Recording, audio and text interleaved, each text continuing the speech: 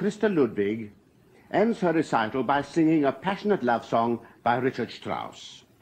It's called Cäcilie. If you knew the anguish of loneliness when no one speaks a comforting word, if you knew what it was to dream and long for the beloved, you would soften your heart. Although the words seem dejected, I must tell you that the music of this song is tempestuous.